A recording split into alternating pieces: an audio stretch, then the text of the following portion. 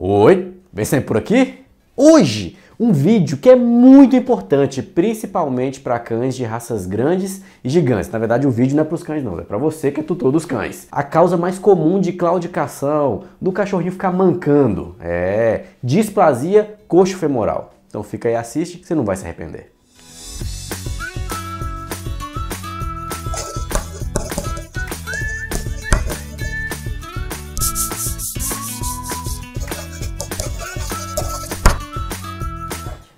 E antes da gente falar sobre a displasia propriamente dita, eu devo te dizer que esse é o combo ortopédico. Sim, as afecções ortopédicas mais comuns dos cães vão ser elucidadas aqui nesse canal. Bom, primeiramente, o que é a displasia coxo-femoral? É uma doença degenerativa da articulação do quadril. E a articulação do quadril, gente, ela é composta pelo acetábulo, que é sim um osso do quadril. Na verdade, é, o acetábulo é um acidente ósseo do quadril e a cabeça do fêmur. Então, essa superfície articular, essa articulação, é a articulação coxo-femoral. E a displasia coxo-femoral, ela se dá pela má formação acetabular ou femoral ou dos dois, de ambos. E isso vai gerar flacidez articular e com o tempo vai gerando alterações que geram muita dor e incapacidade do paciente usar o membro da forma mais adequada. A displasia coxofemoral ela pode ser uni ou bilateral, ou seja, pode dar em um lado ou nos dois lados. Na maioria das vezes os pacientes são displásicos bilateral. E como é que essa doença ela progride? Bom, primeiramente existe um fator genético importante. A displasia coxofemoral já se sabe que ela é hereditária. Tanto é que pacientes que são displásicos, eles são proibidos de reproduzirem. Sim, se a pessoa ela é dono de um canil e ela percebe que um dos seus reprodutores é displásico, ela não deve mais usar aquele animal como reprodutor. Inclusive, a recomendação é que castre esse paciente para que ele não reproduza e não passe os genes da displasia para frente. O paciente que tem a predisposição de desenvolver displasia, ele vai sofrendo o estresse da articulação. Sim, porque quando a gente vai usando o nosso corpo, o nosso do ser humano e também os animais, vão usando as suas articulações, elas vão sofrendo pequenos estresses. É, isso é normal, os impactos vão sendo absorvidos pela articulação. Porém, o paciente displásico, ele não tem uma boa congruência articular. Então, o estresse que aquela articulação sofre é bem maior do que os pacientes normais. E esse estresse contínuo, ele vai gerando um aumento da inflamação dessa articulação.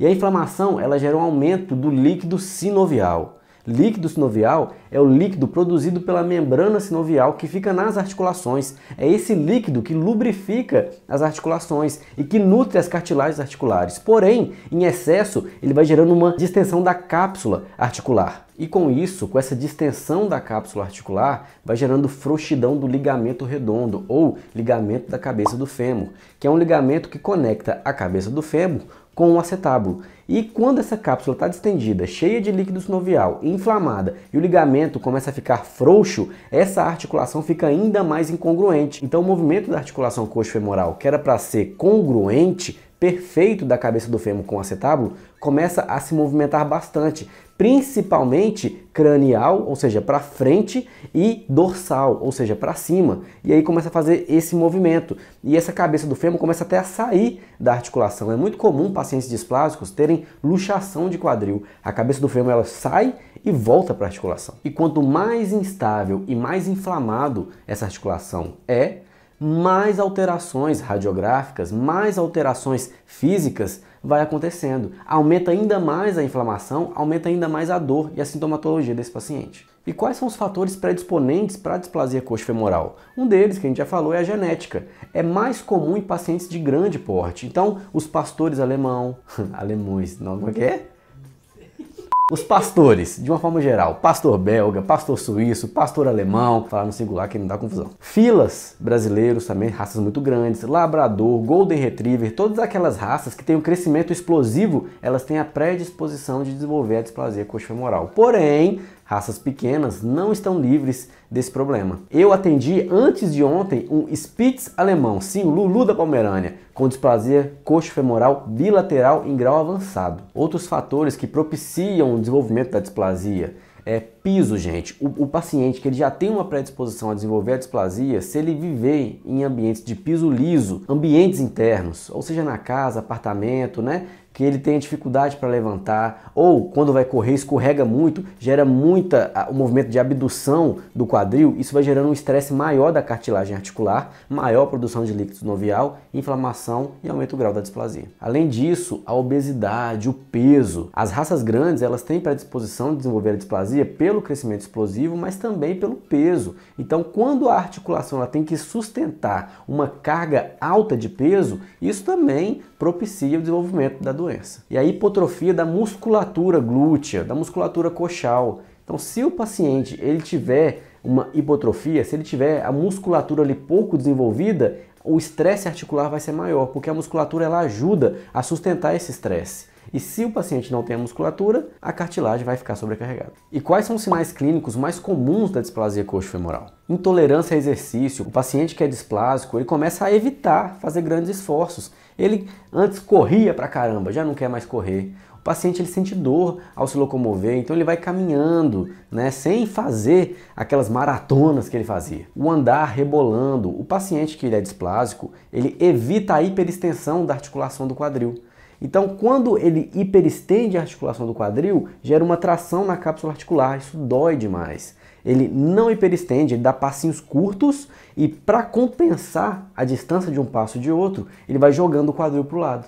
Então ele vai joga o quadril para o lado na hora que anda, joga o quadril para o outro e vai andando, jogando o quadril e esse andar rebolante é muito característico de displasia. Outra característica, a atrofia da musculatura dos membros posteriores. Isso num grau mais avançado. A gente vê aquele paciente que os membros é, torácicos, os membros anteriores, eles estão fortes, firmes, porque ele acaba sustentando mais esse peso. E os membros pélvicos, os membros posteriores, eles ficam fininhos, parecendo que o paciente são aqueles é, marombados de academia, que malha só a parte superior? Pois é, o paciente displásico ele fica dessa forma. Dificuldade ao se levantar do chão. O paciente displásico, quando ele está deitado, ele levanta com facilidade a parte da frente, mas a parte de trás ele levanta geralmente depois e fazendo um esforço muito grande. Isso porque a fraqueza dos membros pélvicos e a dor que ele sente na articulação dificulta ele se levantar. Sentar jogando o membro. Paciente displásico, muitas vezes ele senta e joga um dos membros para o lado, estica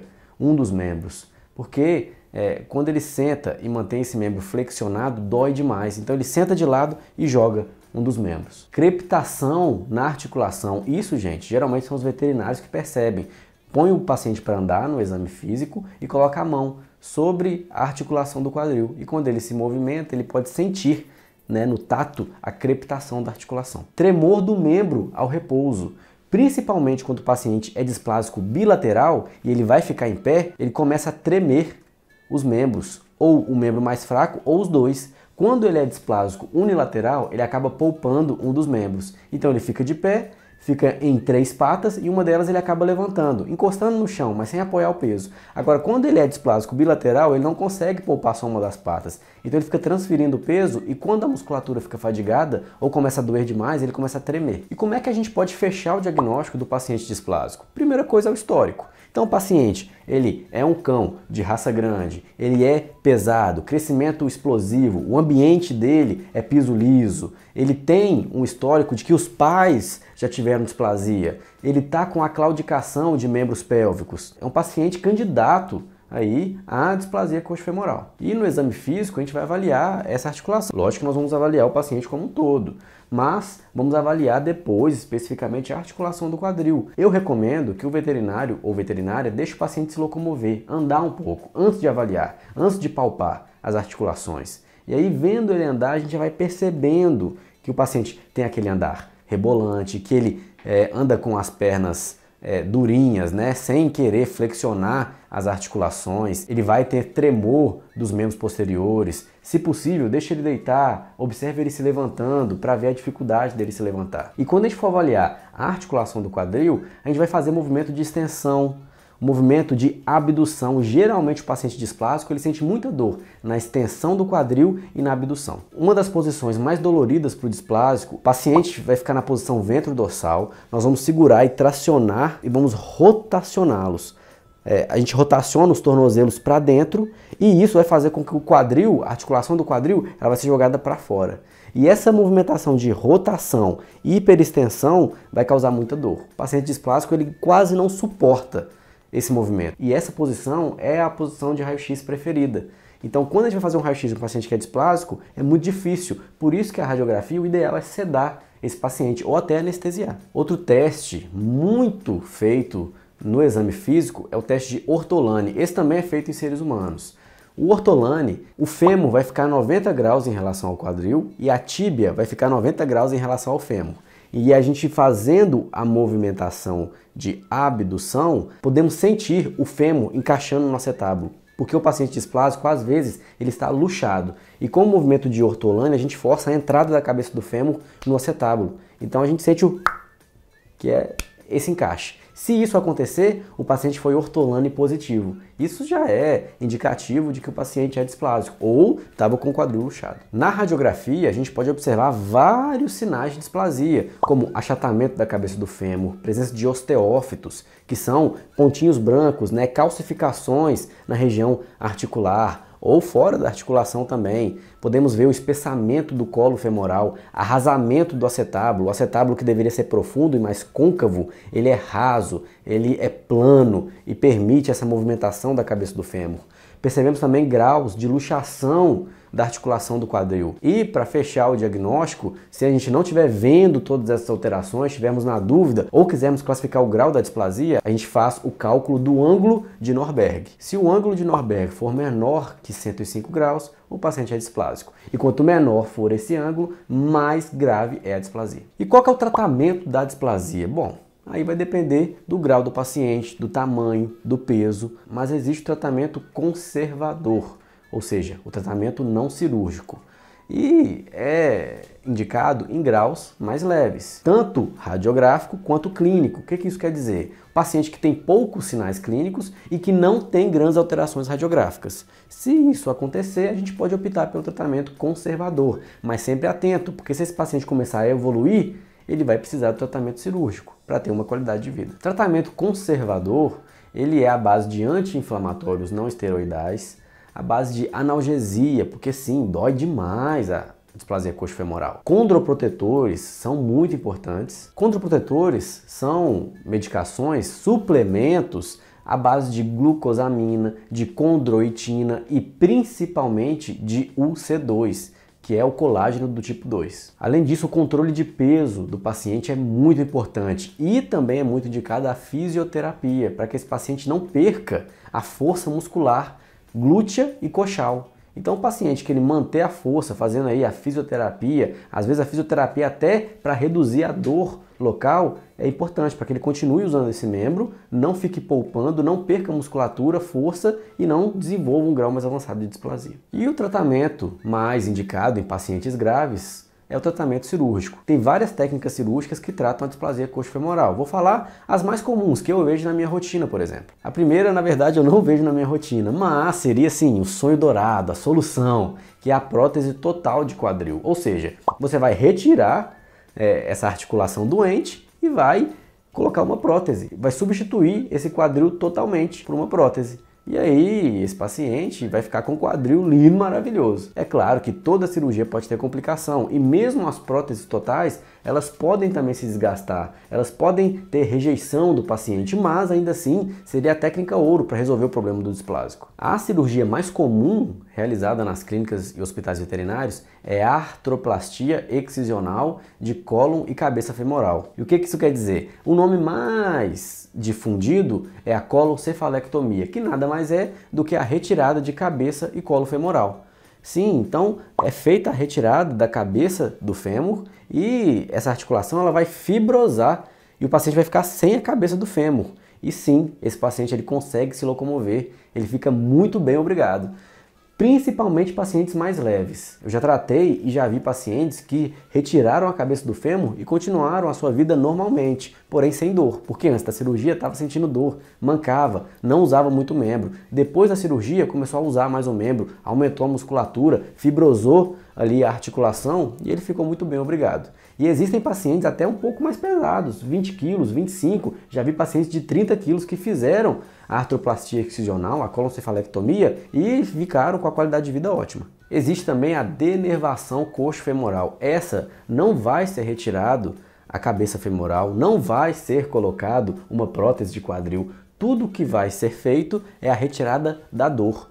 Então, é feito ali próximo do acetábulo uma raspagem no quadril para denervar o local, para retirar os nervos dali. E isso vai insensibilizar a articulação do quadril. E o paciente ele vai continuar com o quadril doente, porém sem sentir dor. Geralmente a gente opta por essa técnica em pacientes que estão mais velhinhos, e que a coloncefalectomia, a artroplastia excisional, a retirada da cabeça do fêmur, não seria uma boa opção e que o tutor não tem condição de pagar uma prótese total de quadril. A gente faz a denervação, esse paciente continua bem também. E para pacientes mais novinhos, existem técnicas como a osteotomia pélvica dupla ou tripla para mudar a conformação do, do quadril, fazer com que o acetábulo abrace melhor a cabeça do fêmur e aí não desenvolva um grau mais avançado de displasia. A osteotomia dupla ela é feita até 5 meses de idade. A tripla pode ser feita até 10 meses de idade. E se o paciente for mais novinho ainda, até os seus 3, 4 meses estourando, tem a sinfisiodese pública, que é uma cauterização da sínfise pública. Então o cirurgião vai ali na sínfise pública entre o osso pubis de um lado e do outro e cauteriza, para que não cresça mais o pubis. E aí o quadril vai crescer só em cima e esse acetábulo vai acabar abraçando a cabeça do fêmur. E é isso, espero que você tenha gostado. Se você entender um pouco mais sobre displasia coxofemoral e acha que tem aí tutores que devem entender mais sobre essa doença, você suspeita que alguns dos cachorrinhos dos seus amigos tenham também, compartilhe nas redes sociais, curta esse vídeo e se inscreva no nosso canal. Toda semana tem vídeo novo. Valeu!